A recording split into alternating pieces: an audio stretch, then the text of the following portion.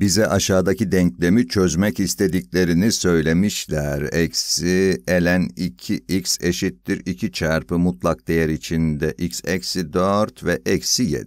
Çözümlerden biri 0,5'miş. Diğer çözümü bulmamız gerekiyor. İpucu olarak da grafik çizen bir hesap makinesi kullanarak cevabınızı en yakın onda birliğe yuvarlayın demişler. Şimdi her zaman olduğu gibi hemen videoyu durdurun ve soruyu benden önce kendi kendinize çözmeye çalışın. Evet, soruyu kendi kendinize çözmeyi kesinlikle denemelisiniz.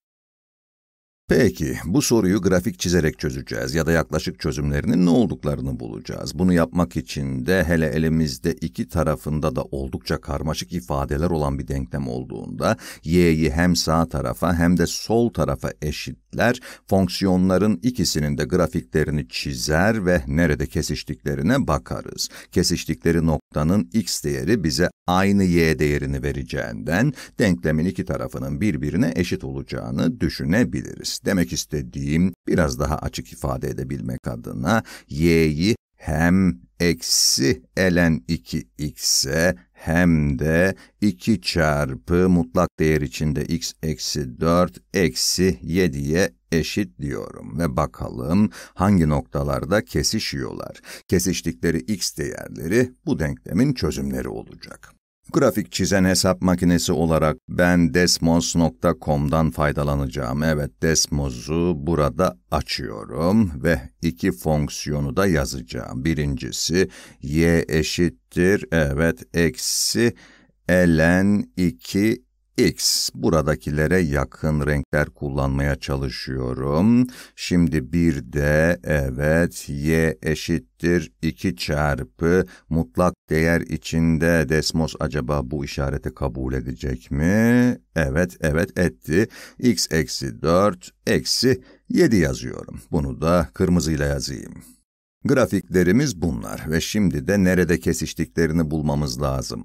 Çözümlerden biri 0,5'ti. İstedikleri çözüm bu değil, bizden diğerini bulmamızı istiyorlar. Bir bakalım çözümlerden biri, grafiğe biraz yaklaşayım, x eşittir 0,5. Evet buradaki çözüm ve buradaki y değeri 0 gibi görünüyor.